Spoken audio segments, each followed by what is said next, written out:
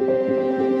Muito bem, voltamos a falar a respeito do caso do anestesista. Presta atenção aqui na informação até o final, porque o assunto é polêmico. A vítima que aparece nas imagens disse que vai processar o hospital porque a equipe de enfermagem já sabia do que estava acontecendo e não interrompeu o ato, preferiu gravar o vídeo. O advogado da vítima acredita que foi negligência do hospital e por isso vai tomar as medidas jurídicas cabíveis. O vídeo inteiro que mostra o médico cometendo o ato contra a paciente tem uma hora e meia de duração e só foi visto pelos enfermeiros quando terminou a cirurgia. O crime aconteceu já no fim da operação, com o acompanhante já fora da sala de parto e a equipe médica ocupada com os procedimentos finais. Era a primeira vez que a equipe médica trabalhava com Giovanni.